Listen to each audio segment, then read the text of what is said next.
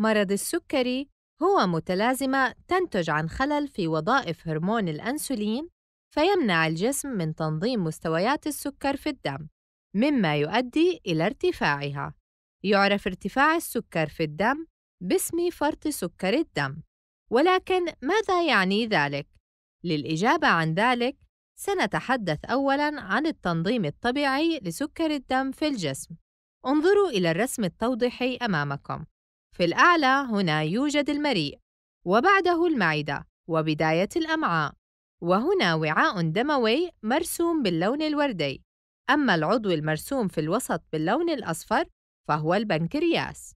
هناك ثلاثة أنواع رئيسية من المواد الغذائية التي يحولها الجسم إلى طاقة وهي الدهون والبروتينات والكربوهيدرات. سنتكلم في هذا الدرس عن الكربوهيدرات ونرمز لها ب CHO لأن تركيبها الكيميائي يتكون من الكربون والهيدروجين والأكسجين. تمر الكربوهيدرات التي يتناولها الإنسان خلال المريء إلى المعدة حتى تبدأ عملية الهضم، وعند انتقالها إلى الأمعاء يتم هضمها وتحويلها إلى جلوكوز. والجلوكوز هو من السكريات الأحادية البسيطة التي تحتاجها جميع خلايا الجسم كمصدر للطاقة. وبما أن الجلوكوز هو نوع من السكر يستخدم البعض مصطلح مستويات السكر في الدم بدلاً من مستويات الجلوكوز في الدم. تمتص الأوعية الدموية هذا الجلوكوز من القناة الهضمية. وبعد دخوله إلى الدم ينتقل الجلوكوز إلى خلايا الجسم المختلفة مثل الخلايا العضلية حيث يتم تحويله إلى طاقة. أو ينتقل في الدم إلى الكبد حيث يتم تخزينه لاستخدامه في المستقبل. دور البنكرياس في هذه العملية مهم جداً، لأن الجلوكوز لوحده لن يتمكن من دخول الخلايا، فبدون البنكرياس يتراكم الجلوكوز داخل الدم، وعندها يتنبه البنكرياس للارتفاع في نسبة الجلوكوز في الدم ويفرز هرمون الأنسولين. يعمل الأنسولين كمفتاح يسمح للجلوكوز بالدخول إلى خلايا الجسم المختلفة مثل الخلايا العضلية والكبد. ولكن إذا استمرت هذه العملية واستمر الأنسولين في تنفيذ وظائفه دون توقف، سينخفض مستوى الجلوكوز في الدم كثيراً. لذلك عند انخفاض السكر في الدم إلى حد معين، يتوقف البنكرياس عن إفراز الأنسولين ويبدأ بإفراز هرمون آخر يعرف باسم الجلوكاغون الذي يحفز الكبد على إطلاق الجلوكوز المخزن داخله وإفرازه في الدم مرة أخرى لتعويض النقص في مستويات الجلوكوز حتى تصل إلى وضعها الطبيعي. سأرسم لكم شكلاً توضيحياً يساعدكم على تذكر طريقة محافظة الجسم على مستويات الجلوكوز في الدم. يحافظ الجسم على مستويات الجلوكوز في الدم من خلال التوازن بين الأنسولين والجلوكاغون فإذا ازدادت نسب الأنسولين يزداد امتصاص الجلوكوز في الخلايا وسيتم تخزين الجلوكوز في الكبد. مما يؤدي إلى انخفاض مستوى الجلوكوز في الدم.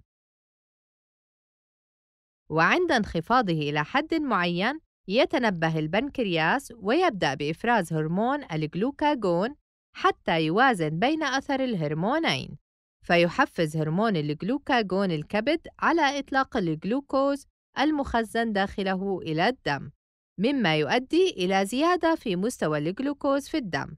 الآن وبعد أن تعرفتم على طريقة تنظيم الجسم لمستويات الجلوكوز في الدم بواسطة الأنسولين والجلوكاغون سأشرح لكم ماذا يحدث بالتفصيل عند الإصابة بمرض السكري. ذكرنا في البداية أن مرض السكري هو متلازمة تنتج عن خلل ما في وظائف هرمون الأنسولين، وقد يحدث ذلك لعدة أسباب مختلفة. فمن الممكن أن يكون البنكرياس غير قادر على إنتاج الأنسولين، أو أنه ينتج نسبة ضئيلة جدًا من الأنسولين، أو أن تكون الخلايا غير قادرة على التجاوب مع الأنسولين فلا تتمكن من امتصاص الجلوكوز الموجود في الدم سواء كان الخلل ناتج عن عدم قدرة البنكرياس على إفراز الأنسولين أو عدم أداء الأنسولين لوظائفه بشكل طبيعي فإن غياب الأنسولين أو عدم قدرته على موازنة مستويات الجلوكوز في الدم يؤدي إلى اختلال هذا التوازن وميله إلى ناحية الجلوكاجون وذلك يعني تضاعف تأثير هرمون الجلوكاجون. فيصبح هو الهرمون المسيطر ويرتفع مستوى الجلوكوز في الدم. ويصاب المريض بفرط السكر في الدم وهي الحالة الأكثر شيوعاً عند مرضى السكري. وذلك لأن الجلوكاجون يحفز الكبد على إطلاق الجلوكوز الموجود في داخله. وبما أن الأنسولين لا يعمل بشكل طبيعي لن تتمكن الخلايا أيضاً من امتصاص كل الجلوكوز الموجود في الدم. وبالتالي لن تتمكن من توليد الطاقة التي تحتاجها. ولهذا السبب يشعر المصاب بمرض السكري بالإرهاق والتعب الشديدين. يحاول الجسم موازنة هذه الزيادة في تركيز الجلوكوز في الدم عن طريق تخفيف الدم بالماء. فتخرج كميات كبيرة من الماء الموجود في الخلايا وتخفف الدم المشبع بالجلوكوز. لذلك يشعر الشخص المصاب بالجفاف. وفي أغلب الحالات يشعر الشخص المصاب بمرض السكري دائماً بالعطش الشديد. كما ذكرنا في البداية فإن مرض السكري هو متلازمة تنتج عن خلل ما في هرمون الأنسولين إما لغيابه تماماً أو لنقصان تركيزه في الجسم مما يمنع الجسم من المحافظة على اتزان مستويات السكر في الدم. ومع مرور الوقت يتسبب هذا الارتفاع المستمر في مستويات السكر في الدم بضرر للعديد من الأعضاء الحيوية داخل الجسم مثل الأعصاب والعينين والكليتين وهكذا تكونون قد وصلتم إلى نهاية الدرس.